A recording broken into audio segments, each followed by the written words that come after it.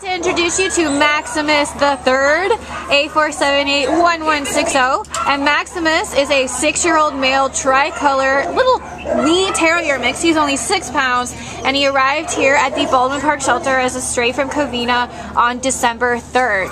And we have three Maximuses on our networking list today, and he happens to be the third one, but that is not because he is small in or last in personality. He is absolutely awesome and just totally endearing and, you know, amusing. He, just totally transforms once you get him out of the kennel, and he goes from being a shy little thing to very confident and social and prances around really nicely on a leash, likes to meet and greet absolutely everybody.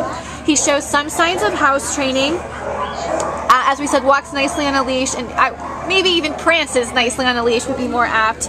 And it's just going to have a nice medium energy level. Is there anything else you want to tell us about Maximus? I think you said, he's very confident and he's just, when we first took him, he was shaking. Now he goes up to big dog, tail wagging like, hey, how you doing?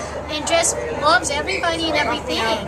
He is six years old, but he acts like six months. He just has, he's just amazing. Absolutely. So please come meet Maximus here at the Baldwin Park Shelter. He is six pounds and so cute and endearing. You're absolutely going to love him because we do too. A pound per year. A pound per year, absolutely. So this is Maximus, A4781160.